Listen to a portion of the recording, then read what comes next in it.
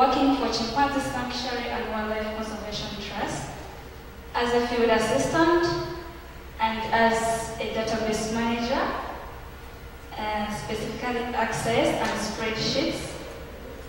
Yeah. Oh, sorry. Um, I will give you a brief background of the organization. Chimpanzee Sanctuary and Wildlife Conservation Trust is a national NGO established in 1988 to promote the understanding, appreciation, and conservation of chimpanzees and their habitats in particular and wildlife in general. If you visit this website, you can get more about it. But why chimpanzees of all mammals? Um, first of all, chimpanzees are under great threat because of the high rates of clearance for, of their habitats. That is the forests. And why are they cleared? For agriculture and settlement, name it. And about 5,000 is left in Uganda, while between 70,000 and 110,000 in the DRC Congo. That's according to the recent studies, that is 2003 IUCN. If you visit that, you'll get more about it. Um, why is, okay, I didn't introduce the program. It's, uh, maybe it's the next, um, sorry about it.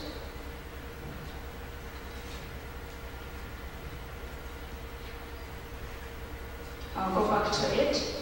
Introduction is still continuing. But how are we conserving the remaining individuals?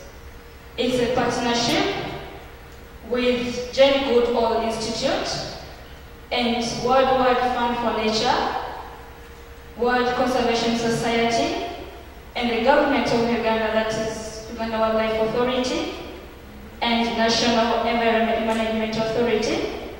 Um, but how are we doing it?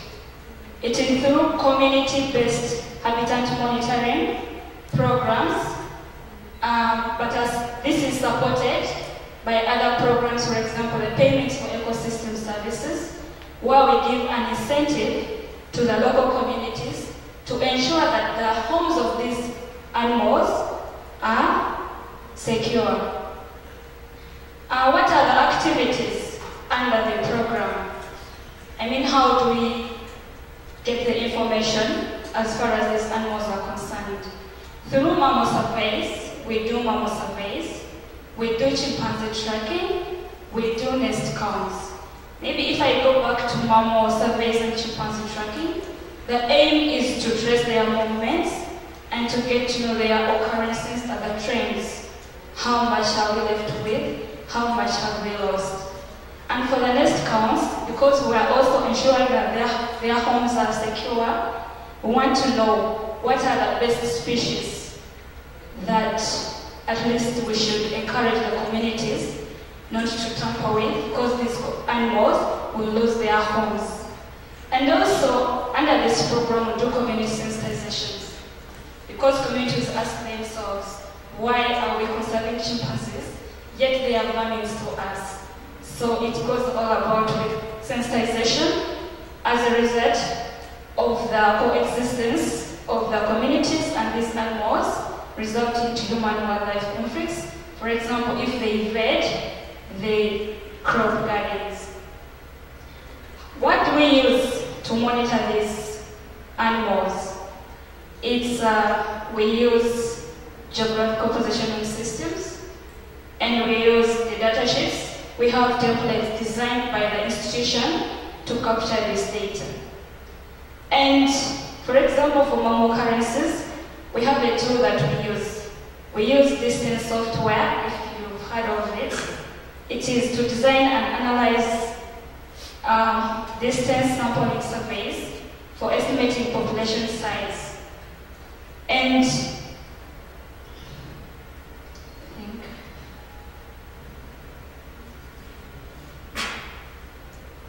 And this program is uh,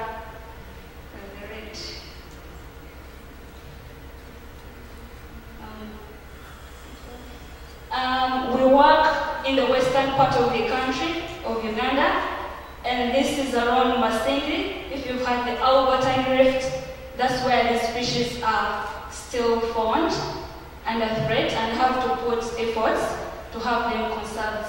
So the program runs from Masindi and Hoima. Yeah, those are some of the individuals. We can see the close resemblance we have. It is 98.7%. We share the genes. And the threat I was talking about, if you look at this, because the communities take them to be vermins, they use man traps. So we have to sensitize the communities of not, about not um, let our unique species get extinct. That is confusing. So, how is this information coming in in our organization using the templates that we designed?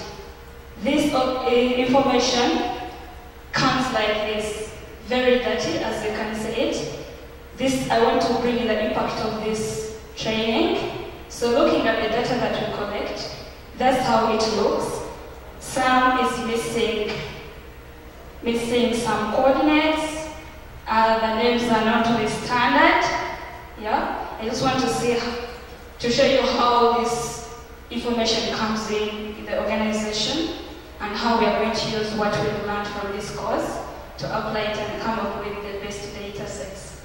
So, from the, yeah, because we have a lot of this data coming in, we partner with Makerere University, which is an institute in main campus for Uganda, and they have uh, a National Biodiversity Data Bank where we upload our data to be accessed by the scientists and researchers, although not worldwide, let me say. So, and according to their format, this is what we fill in according to what we have. But after this training, I realized we still had a lot to at least clean up. So I went further using this to apply the Darwin core terms using Google Refine. And I don't know whether the concept is clear. We came up with the terms that Darwin gives us according to what we collected. And this one teaches me one thing, that data cleaning doesn't stop at the collector. If you can do everything to have it clean to the best, then you can go on. Because this was the first thing that I did, and with my colleagues, we applied the Darwin core terms. We saw it worked, but this office hour session also, when we shared it with Kyle, it really showed us that there was still more to clean up. So if you clean, you can pass it to me. I clean, and also another colleague cleans up to when it becomes and ready for publishing. So with that, we've discovered more. This was done before the office hours, and I think when I go back, I'm going to add value to it. And also, using the data set, we went on to um, check whether we, these were the right names of the species we had using ICAT name parser. So, like we all know how to do it. I will not demonstrate that because of time, and I'm here to share what I've picked from the sessions. So, looking at this, the way it instructs us to put the scientific names. So, this is what it shows. It shows the genus and the specific name. So for all the, the six species that we do have in the region, and then the results showed, okay, we went on, uh, went on to identify one species and search to get the best scientific name. and to identify it because there are many species. The results showed, like for example, Colbus procera, we had the genus and the species.